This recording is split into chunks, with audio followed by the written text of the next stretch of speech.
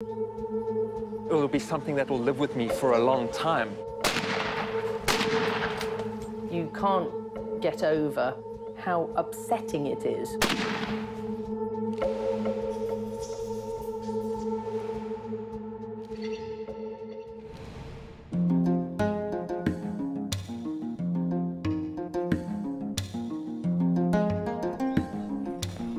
For me, Africa is home. I was brought up there. My parents met and married there. I went to school there. And I always wanted to go back there to work. I ended up getting the posting of my dreams, and I'd been there for about four or five years.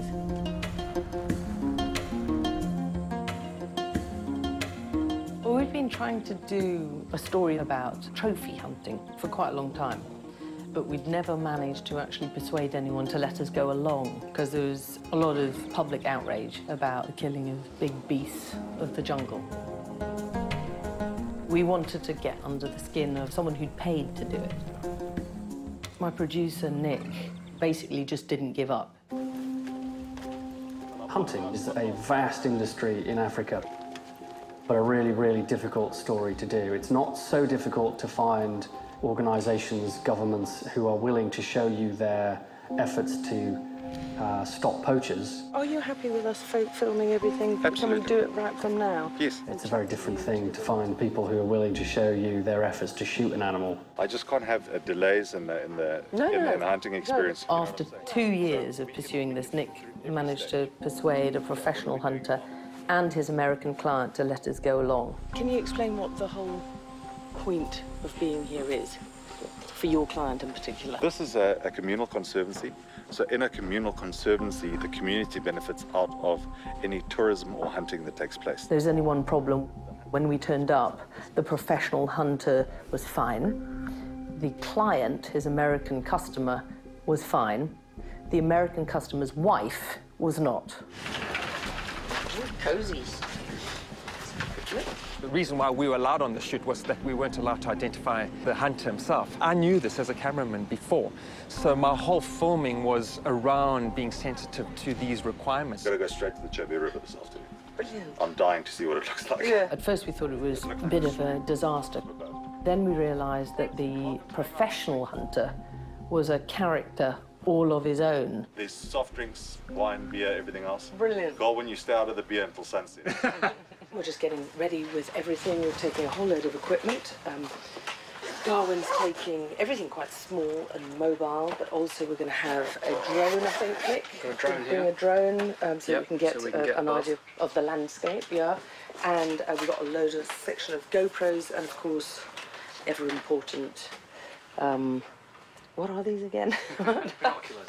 Binoculars, just in case we don't see them up close. But anyway, so we've been told to be there now, so we better get a move on.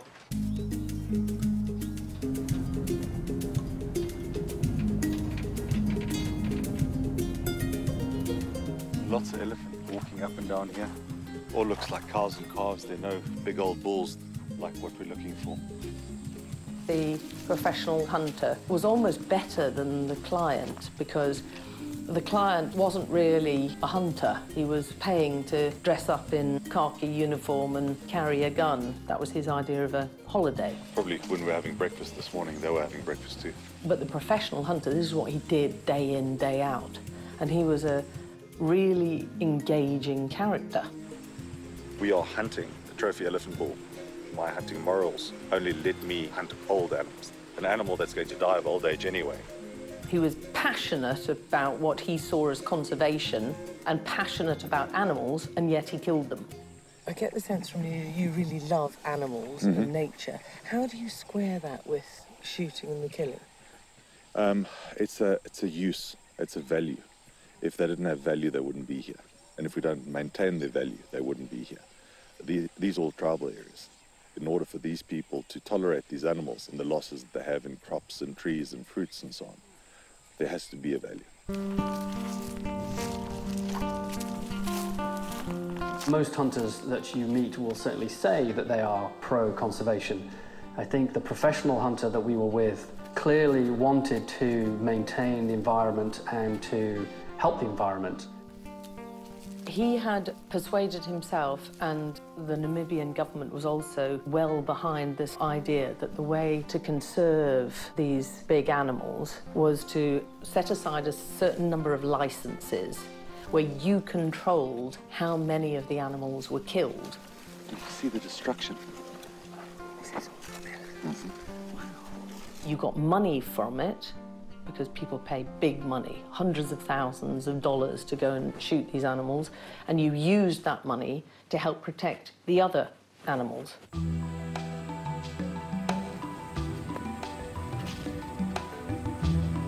First time I've been on a hunt, never done anything like that before. And it involved trekking for hours and hours and hours. And I think the appeal of being out in the bush is understandable because it's this wild jungle.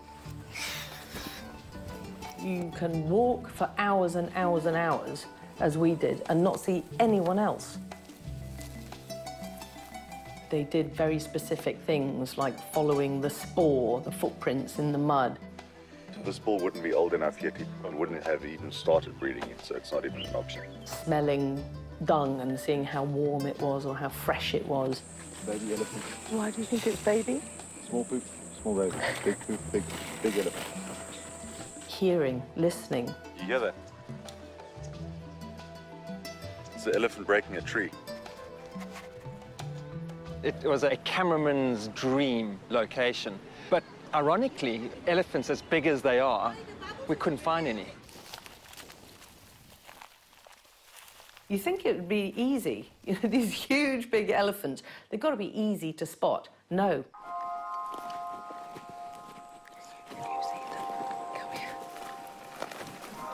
When we eventually did locate these elephants, which took us forever, we were amazed at how silently they uh, walked through, through the forest. We were right close to them and you couldn't hear them. These huge animals. It was really, really difficult to isolate an elephant that the professional hunter was willing to shoot. These are all cows and calves and young bulls, nothing here. So it's not what we're looking for. No. To get up close with them is quite exciting and exhilarating, but it's quite terrifying as well because they are incredibly dangerous animals.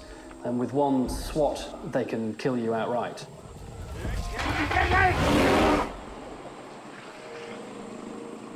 But at the same time, you feel quite queasy about why you're there because you know that ultimately one of these amazing uh, animals is going to get killed.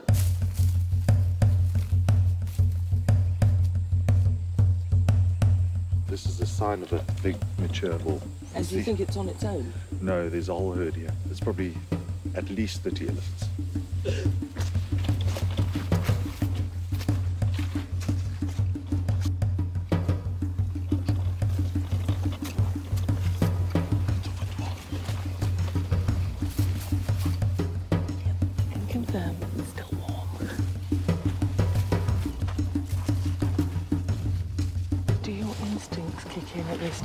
Think, right, we are making progress, mm-hmm. we're getting... Absolutely. Absolutely. We need to track a lot of elephant to find a big old one. And there's a really good track here, so the signs are very positive.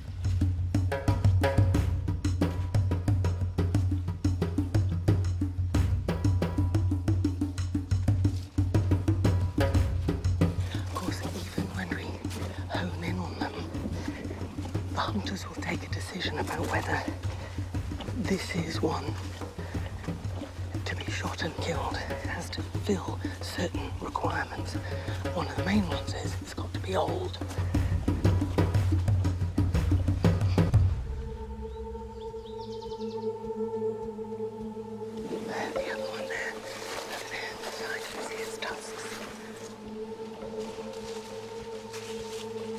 Everything became quite serious. There was a lot of tension in the air.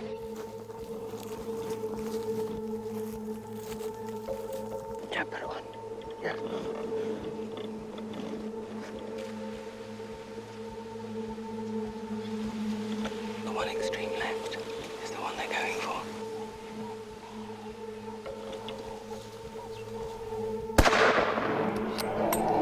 Wait. When that shot went off, it was the most horrific moment. You had this noise of the gunfire, and then the elephant screamed. Come on, going. We were all hoping that it had been killed, but unfortunately, it had only been wounded. It was just incredible how it just disappeared into the forest. Yeah, what happened? Um, it's, we uh, I always prefer a quick ending, um, but with all the bulls around us like that, it was very, very difficult to get in closer and also then get a, a brain shot, which is what we prefer because that's instantaneous. At one moment, we were thinking, oh my word, what if we don't find this, this wounded elephant? And as it turned out, it took us four hours to track the elephant again. The idea this time is to finish it. You need to go closer. Okay, shoot him. Shoot It was really shocking, actually. I was quite surprised because obviously we'd had a big build-up. We knew what was coming and we sort of knew what the end result was going to be, and it was still really shocking. Shoot him right between the ears. Yeah. Kneel down. Get closer.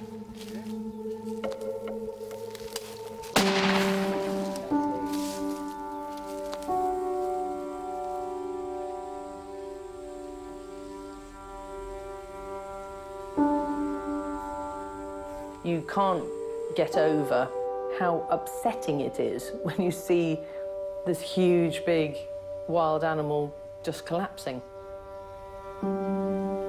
Nothing ever prepares you for that moment of death.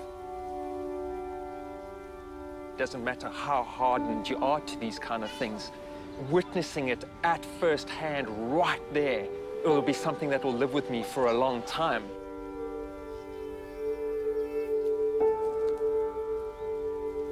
The professional hunter and the customer were also both shocked. It's always emotional when you take an elephant. It really is. Tell me why. We kill them because we love them. We want them to survive. My young daughter must see them. She must see them in the wild, not in a zoo. And we have to. We have to.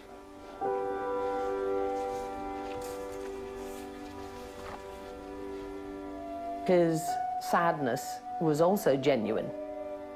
It was a story that was full of contradictions because you had a hunter who said he loved animals but then was also killing them. We've hunted our whole lives, and we have hunted all kinds of animals. And yes, we kill them, yes, but we eat them too. This is an enormous amount of protein.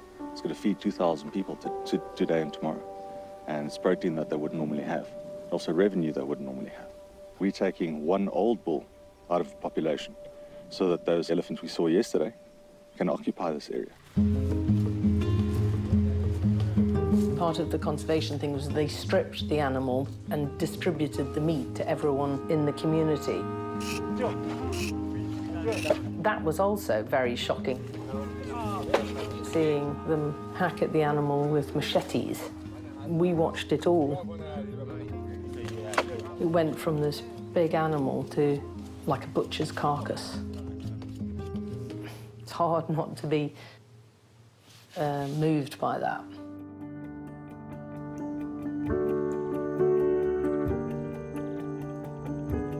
It seems pretty horrendous. And I still can't understand, even having spent a lot of time with professional hunters who are passionate about conservation, I still don't myself see why someone would want to shoot an animal, let alone pay hundreds of thousands of dollars for the privilege. But I also understand their perspective when it comes to conservation, and so I find that a difficult argument uh, to get my head around still. Both the customer and the professional hunter were sort of easy people to criticise, I think. Lots of people who'd be absolutely appalled watching someone basically fire at point blank range between an animal's eyes. It's not really a fair contest. the professional hunter. He knew that he was going to get a lot of criticism. And to be fair with him, he had a message, and his was that Namibia's elephant population was going up because of the way they handled killing a certain number whilst conserving the rest for the good of the, the rest. Like, it's a controversial tactic, but as far as the Namibian authorities are concerned, it's working.